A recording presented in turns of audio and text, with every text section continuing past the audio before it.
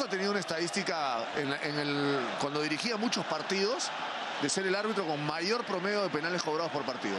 Lo que pasa es que no, no ha venido dirigiendo últimamente. Ya le va a pegar Jairo Concha. Para el cuarto de Alianza va a buscarla. Jairo Concha, va Jairo.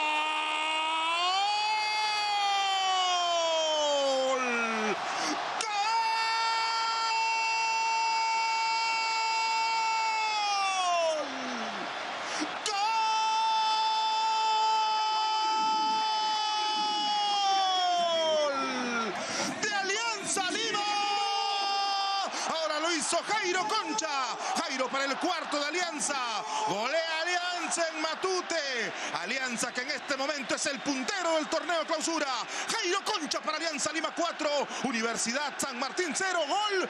Apuesta total para ganar. Hay que creer. Bien pateado nuevamente el penal, muy parecido al de la bandera, con la misma certeza, con la misma seguridad, la misma zona. Esta vez Solif hacia el otro lado. Es una fiesta Matute, Alianza gana 4-0 y todavía queda un buen rato. ¿ah? Ahora, toma un poquito más distancia que la bandera Concha, pero le pega igual al lado derecho del portero. Esta vez Olife la jugó al otro palo.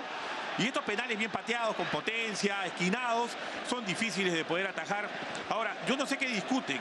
Eh, el jugador de San Martín, Tuesta, lo traba a Pinto. Pinto ha generado dos penales en el segundo tiempo.